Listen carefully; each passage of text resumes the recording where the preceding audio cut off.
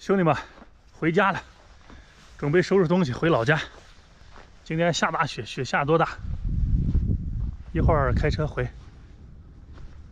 哎呀，呃，还行，反正是今天高速不让走，待会儿我走国道。呃，距离不算远，一百多公里，最多两小时，两小时到家。有钱没钱，回家过年。回家看看家里面老爹老妈。走走走，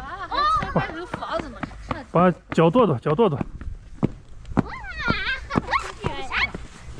下雪好不好？好。鞋湿了，鞋湿了。喝水。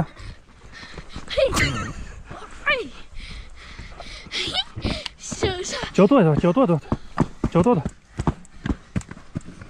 里边里边堆成啥了？里边。从从你姐姐那边上去。好多兄弟们老是问我老家哪里的，今天就跟随我的视角，我们一块儿回老家。全是雪。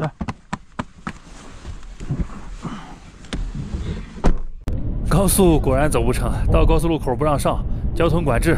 现在我走的黄河大桥，过了黄河大桥，我准备走三零七，走三零七国道。没想到呀，万万没想到，国道现在特别的堵，已经龟速行驶有一个多小时了。现在我们要过一个国道的关卡，看一下行程码。OK，好了，出发。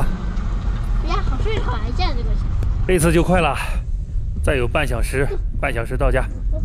这会儿车也不堵了。到家了，兄弟们，早晨九点钟走，下午三点多到。现在给大家伙看一下我的车成啥样了。这一路是坎坷呀，泥加雪，来回飞起来的那个泥，哎呀，车没样子了已经。哎呀，到老家了，感觉真好。现在呢，雪已经不下了，给大家看看我们家养的两条狗。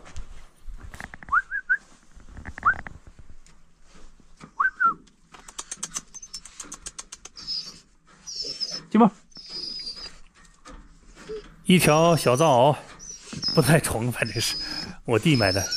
呃，一条金毛，也挺听话。你看我这多长时间没回家了，也不叫也不喊。